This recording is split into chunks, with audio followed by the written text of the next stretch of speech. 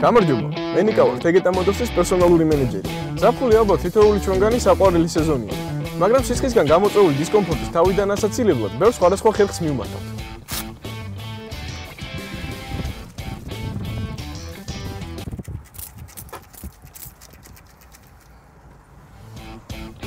ჰაერის მაღალი ტემპერატურა ჩვენ გარდა გაუმართა ავტომობილებს საწოხებს.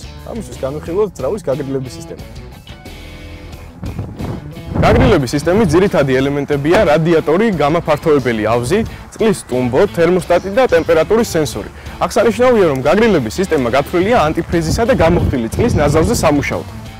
ბევრს გონია, რომ ანტიფრიზი მხოლოდ ზამთარში უნდა გამოიყენოს, მაგრამ ეს ასე არ არის.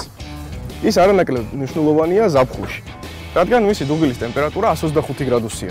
შესაბამისად, ის იცავს ძრავს გადახურებისგან. ანტიფრიზ აქვს თვისება შეპოხოს გაგრილების სისტემის შიდა დეტალები და დაიცვას ისინი კოროზიისგან. საავტომობილო თემებში ხშირად გვესმის გადახურება. მიზეზი გაგრილების სითხის ტემპერატურის გადამეტება.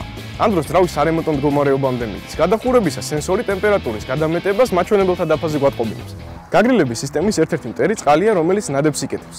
ის ვეღარ პოხავს სისტემას და ხშირ შემთხვევაში აფუჭებს ტუმბოს. ტუმბოს გაფუჭებისას ხდება ძრავში სითხის ცირკულაცია, კოტრად იმატებს ტემპერატურა და ძრავი გადახურების პირას მიდის. ტემპერატურის გადამეტებას იწვევს თერმოსტატის დახურულ პოზიციაში გაჭედვა. ასეთ შემთხვევაში რადიატორში სითხე ვეღარ გადის და ტემპერატურა კონტროლს აღარ ექვემდებარება. უკიდურეს შემთხვევაში ტემპერატურის მატებისას შეიძლება ჩართოთ ავტომობილის ღუმელი. ასე ტემპერატურა შედარებით შემცირდება და შესაძლოა უახლოეს ავტოსერვისამდე მისვლა ჩიტო. გაგრილების სისტემის შესანარჩუნებლად ყოველი ავტომწარმოებელი თავად აწესებს ანტიფრიზის ტიპსა და შეცვლის პერიოდს. დაიცავით მწარმოებლის რეკომენდაციები და გაითვალისწინეთ ჩვენი რჩევები. გახდით უკეთესი მძღოლი ყოველი ვიდეოს ნახვის შემდეგ